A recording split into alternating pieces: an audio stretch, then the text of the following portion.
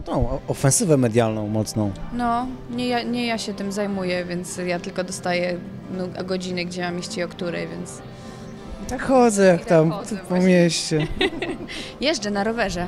Nawet nie chodzę. Teraz taką pogodą, a teraz jest słońce jeszcze to. Właśnie przyjechałam, nawet udało mi się znaleźć jakiś murek, gdzie można przypiąć rower, zaparkować. Kurde, żeby tylko ci nie, nie ten, nie zniknął. No, mam nadzieję, przypięłam w miarę skutecznie, wydaje mi się. Ale naj, najgorsze to nie jest to przypinanie, tylko najgorsze to jest jeżdżenie. Co to właśnie jeżdżenie jest najfajniejsze? No tak, tylko pod tytułem jak wjeżdża na ciebie autobus i pan ci pokazuje jakieś znaki, że nie jest zadowolony z tego, że jesteś u niego na drodze, to wtedy już jest mniej fajnie. Pokazał znak, taki ten jednoślad. Jeden. Jednoślad z drogi pokazał mi znak. A, to ja wiem, o- wiem o który ci chodzi. Jednym palcem się pokazuje, nie? Tak, tak, tak. A to popularne jest w tym kraju, co?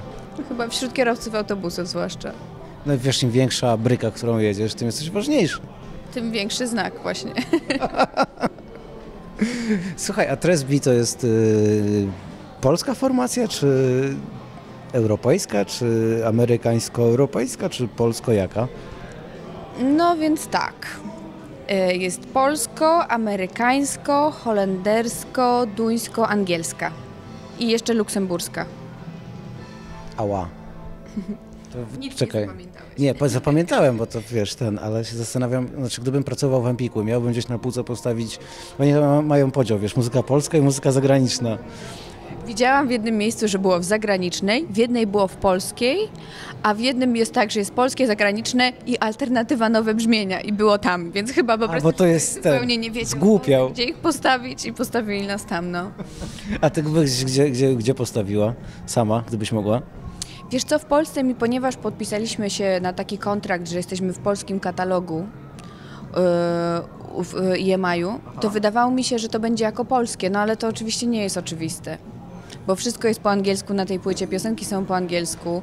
My ze sobą z chłopakami gadamy po angielsku, więc nawet i na koncertach, jak w Polsce gramy, to ja generalnie gadam po polsku, ale między sobą gadamy po angielsku też.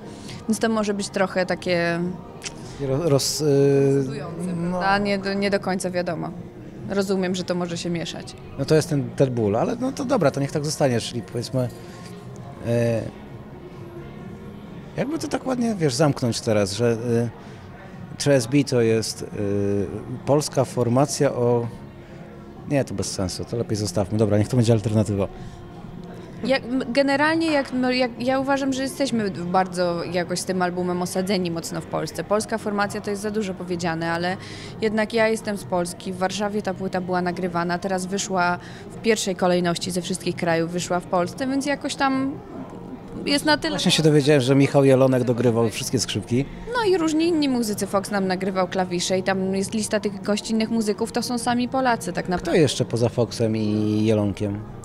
To tak naprawdę to było dosyć do, przypadkowym kluczem to było robione, bo my po prostu pozapraszaliśmy muzyków, którzy akurat byli w tym studio, w którym my nagrywaliśmy. I kto przyszedł, ten był. I kto tam był w pokoju obok, a wiedzieliśmy, że się nadaje, to mówiliśmy, a tu wejdź do nas na chwileczkę, bo potrzebny jest kontrabasik pilnie na przykład i w ten sposób mamy e, po prostu gościnnych muzyków. Także akurat, a, a akurat Fox i Jelonek to byli tacy znajomi, którzy wiedzieliśmy, że można ich o to poprosić. I oni też wiedzieli, po co przychodzą. Też wtedy wiedzieli, po co przychodzą, a reszta to tak po prostu rzutem na taśmę, że było hasło, nagle wiesz, jak się pisze w studio. O, teraz potrzebna mi jest taka trąba. I wchodzi ta trąba, koleś akurat przychodzi korytarzem. Stop, stop, stop, tu wchodzisz. Trąba, wracaj. No tak, tak to było właśnie, tak było. A co was łączy z... O, na przykład, dobra. Od razu jak się zapytam, to od razu będziesz wiedziała, dlaczego się o to pytam. Z Nickiem Cave'em, z PJ Harvey. Łączy nas pan, który nam zmiksował płytę, Wiktor von Fucht. Ale jak to? Znaczy, że co, lubię PJ Harvey, to... Bo Metz tak ostatnio gdzieś napisał. Chciałam powiedzieć, że właśnie tak widziałam w recenzji. No tak to jest trochę, wiesz, bo generalnie nie ma co do jakiegoś producenta wielkiego startować, dlatego że ma wielkie nazwisko, fajnie by było, żeby się pojawiło na płycie, bo jak on robi muzykę, która jest kompletnie tobie obca, to on też tego nie skuma. A my już wcześniej z nim pracowaliśmy nad jednym kawałkiem, takim dosyć właśnie mm, PJ Harvey, Nick Cave, mrocznawym. I to się super sprawdziło, naprawdę on tę piosenkę tak, no, no super ją złożył do kupy, więc y, jak się pojawiła możliwość pracowania nad tym albumem też z nim, to, to było wiadomo, że to jest warte spróbowania. Ale przecież Tresby nie jest takie mroczne. No wiesz, no tam są takie piosenki na tej płycie, które takie są jednak, jak mi pan powiedział, miałam wywiad wcześniej, to pan powiedział, no ta zamykająca tytułowa piosenka to takie Seattle sprzed Nirwany jeszcze. O kurde, a to był chyba komplement. Wow! To chyba nawet nie była złośliwość. Chyba nawet było miłe, tak, tak, tak. Nie, ja generalnie, ja się bardzo ucieszyłam, bo ja, mu- i on tak mówił, wiesz, no taki Stone Rock, Queens of the Stone Age. Ja mówię, jak ja lubię takie rzeczy, chciałabym mieć taki zespół w ogóle, taki, żeby był głośny i żeby wszystko tłukło. Ta płyta, no nie jest taka aż... y, Ta poprzednia nasza płyta była taka mroczniejsza, ta, którą tak sami sobie zrobiliśmy, której w Polsce tak naprawdę nie ma. A ta jest rzeczywiście trochę weselsza i jest taka czystsza też. No ale wydaje mi się, że ma taką jakąś melancholijną nutę i te kilka piosenek, które jest cięższe, to są te właśnie sygnały, że tacy też jesteśmy, tylko... Halo, mamy, więcej- mamy parę takich płyt w domu. Tutaj wyszło y, jakoś tych piosenek takich może troszeczkę weselszych niż, niż mroczniejszych. A to jeżeli macie teraz kontrakt z EMI, to może oznaczać, że na przykład do dystrybucji w Polsce trafi ta pierwsza płyta? Być może, nie wiemy jeszcze jak to będzie, bo tak naprawdę my sami moglibyśmy zrobić dodruk, bo to było w naszej własnej wytwórni w holenderskiej wydane własnym sumptem, więc tak naprawdę na sprzedaż na koncertach moglibyśmy też zrobić tę mm, starszą płytę. To jest coś, tak, tak naprawdę to jest znak zapytania. Zobaczymy jak ta płyta się y, będzie przyjęta, ta aktualny, ten No, oficjalny. no przecież już wiesz, jak jest przyjmowana, nie gadaj. No, że mamy parę dobrych recenzji, to jeszcze nie znaczy, że się sprzeda 300 milionów, wiesz. Trójka się wami zachwyca, wiesz. No miło mi. Zobaczymy. Zaraz będą kolejne rozgłośnie. Nie mamy tak dużo koncertów, tak naprawdę to są pierwsze tygodnie dosłownie po premierze. Też tak naprawdę to, że premiera była jed- 21 września, to przez pierwszy tydzień jeszcze do tych wszystkich sklepów te płyty spływały, więc tak naprawdę teraz to są dopiero pierwsze dni, kiedy te płyty Bo można... to ja wiem, dlaczego się robi premiery koło 20. Już to gdzieś ostatnio ktoś mi wyjaśnił. Dlaczego? Dlatego, że koło, koło 20 sklepy dokonują takich dużych miesięcznych zamówień. A to ja nie wiedziałam. robisz premierę 20 tam i pół albo 21, to jesteś wysoko na liście, bo jak się chronologicznie ustawi, wiesz, Kurczę. więc nie narzekać, te płyty dopiero spływają teraz do sklepów. No to, to bardzo jestem, jestem, tak się cieszę, że te płyty spływają do sklepu.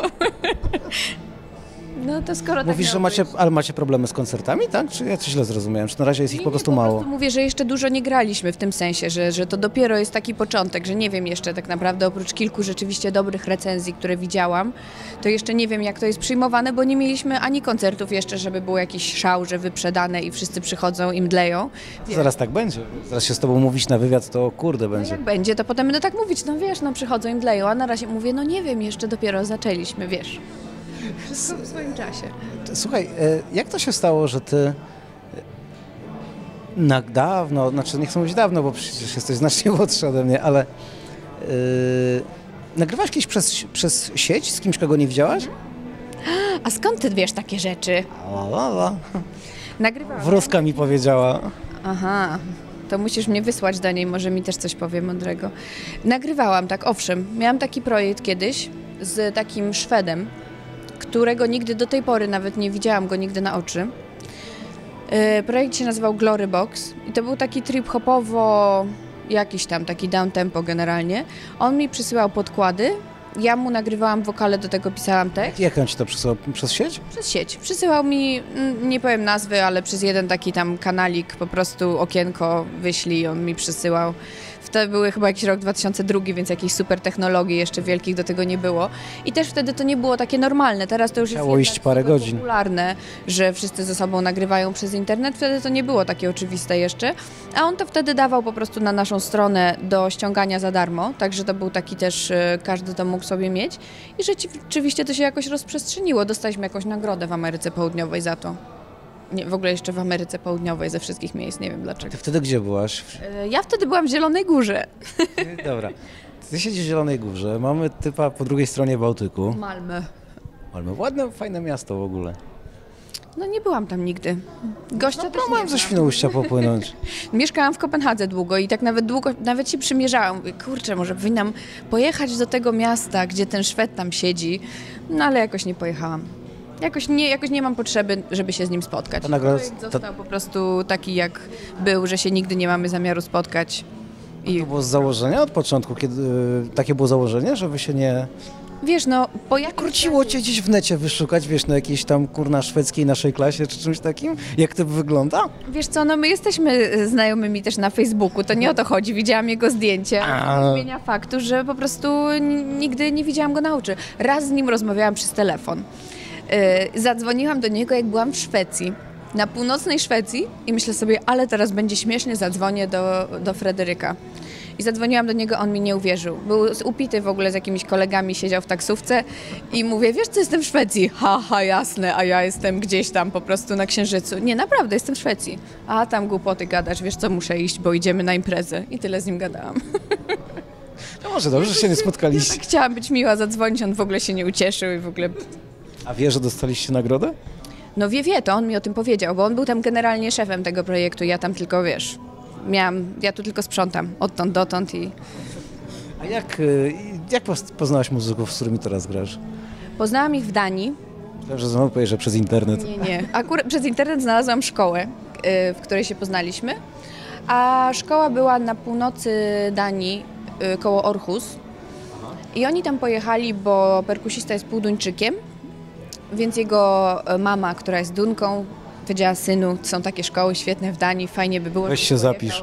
Odkrył swoją duńską część i y, no, ta duńska część to w ogóle tylko pijaństwo po prostu straszne, naprawdę. To niby taki porządny naród, No nie? właśnie, ale wcale nie. Tyle co piwa w tej szkole wypijali młodzież, to już nie widziałam dawno. Tak, tak, jak oni wpadają na stację benzynową, to biorą z grzewkami. No właśnie, właśnie. W każdym razie chłopcy tam byli, oni razem e, się wychowywali w Luksemburgu, chodzili do szkoły, mieli zespół od kiedy mieli lat 13. Słuchali jakiejś strasznej muzyki wtedy w ogóle koszmarnej. No ale To, to jest straszna, koszmarna muzyka. nie wiem, jakieś tam. Hey Oli, what was the first album that you guys swapped with Tom? Bloodhound Gang. No przepraszam. To nie jest takie straszne. No nie, no proszę cię, no. No straszne, pod straszne. Nie mówmy o tym. W każdym razie byli tam w tej szkole właśnie ta- tacy młodzieniaszkowie właśnie, którzy mieli zespół od czasu, kiedy mieli lat 13. Poznaliśmy się, zaczęliśmy grać razem w trójce. E, oni wtedy mi przyznali bas w ręce. Powiedzieli, ja tu mam gitarę, ty masz perkusję, a ty co masz? Ręce puste, bierzesz gitarę. A ja nigdy nie grałam na gitarze i trochę się zestresowałam, ale kazali grać, to się nauczyłam trochę. Tak gram jak ostatnia sierota, ale jakoś no, daję radę, nie gadaj. koncertów, więc y, jakoś tam się ob- obroniłam. Cieszę się, że ci kontrabasu nie dali. Też mi dali później trochę. To wystawałaś za tego kontrabasu, czy tylko grzywka? Nie, tak tylko wiesz, głowę na wysokości tuż tutaj nad gryfem. Trochę nawet nagrywałam, nawet na tej płycie nagrywałam w studio. Bartek Kuźniak mi dał taki elektryczny, to tak siedziałam z nim. Ale to mniejszy jest, wiesz. Długo miałam tyle, tak? Wiesz, straszne, straszne. No to więc w tej Danii tak zaczęliśmy razem sobie łupać w tej szkole muzycznej i przeprowadziliśmy się razem do Kopenhagi. Jak już stwierdzi, stwierdziliśmy, że super nam idzie i w ogóle nigdy się nie powinniśmy rozstawać, zostańmy po prostu szczęśliwą rodziną zespołową i grajmy. Szumna deklaracja, wiesz. No wiesz, no my od czasu jak się w tym 2000, był koniec 2004 roku, to się nie rozstaliśmy tak dłużej niż na miesiąc chyba nie, wcale, więc y, w Kopenhadze mieszkaliśmy w jednym pokoju, 12-metrowym w trzy osoby. Potem jak się przeprowadziliśmy do Holandii, mieszkaliśmy w jednym domu. Y, Kupiliśmy razem dom, gdzie zrobiliśmy salę prób i po prostu mieszkaliśmy tam trzy lata. Potem w Amsterdamie już y, w jakichś tam innych trochę konfiguracjach, bardziej osobno, no ale jednak codziennie też się widywaliśmy, więc y, to jest taka forma rodziny. Ja myślę, że wiesz co, jakby się znalazł biograf jakiś, i miałaby powstać jakaś taka monumentalna pozycja, to on by was przeklinał, ten potencjalny. No tam jest tyle wątków, że w ogóle jeszcze tu jakbym... Ale co, dom razem kupiliście? Tak, dobrze ja słyszałem? Co takiego? Dom kupowaliście razem? Tak. Ten dom teraz jeszcze cały czas stoi w Maastricht, tam przez połowa naszego sprzętu stoi, bo nie ze wszystkim się chcieliśmy przeprowadzić. W Maastricht, w Holandii. Czy muzycy za granicą mają na tyle dobrze, że grając koncerty tu i ówdzie są w stanie żyć na takim poziomie, na jakim tam, wiesz o czym mówię? Wiem o czym mówisz i nie mają tak, no to jest po prostu inaczej. W Holandii na przykład jak się studiuje, to za to, że się studiuje dostaje się co miesiąc pieniądze od rządu. Wyobrażasz, to sobie dostajesz, a jak mają twoi rodzice od 300, pie- od 300 euro 350 do 500. I na przykład możesz być studentem za to, że studiujesz i chodzisz na zajęcia, dostajesz 500 euro co miesiąc, żeby sobie po prostu móc wynająć mieszkanie, nie wiem, albo pójść na drinka wieczorem. Wiesz. Żyć, nie umierać. No właśnie, a jak masz jeszcze rodziców, jak A oni tam mają, przepraszam, taką instytucję wiecz, wiecznego studenta, bo to kiedyś w Polsce tak było. też. Co prawda teraz, teraz już no nie można tak powiedzieć, bo się, teraz to się zmienia. W tej chwili dosłownie w zeszłym bo obcinają. jakiegoś newsa, że obcinają kulturalne różne tam granty i, i te szkolne też i już na przykład nie dostaje się pieniędzy jak się chce zrobić magistra, tylko licencjat, czyli te pierwsze lata, pierwsza część programu, bo oni mają taki program zawsze 3 plus 1 albo 2. Więc na te pierwsze 3 lata są granty, na późniejsze już nie ma. No ale tak czy inaczej, no. Ale te pierwsze trzy lata można robić w dziewięć. Po prostu nie super ubogich, to wiadomo, że oni też coś tam ci odpalą. Tu ci rząd odpali, tu gdzieś można sobie popracować parę godzin w tygodniu, co tak naprawdę już sama Polska dusza. ten. Więc jak to się złoży do kupy, no to tak naprawdę dosyć sobie przyzwoicie radzą ta młodzież zachodnia, wiesz.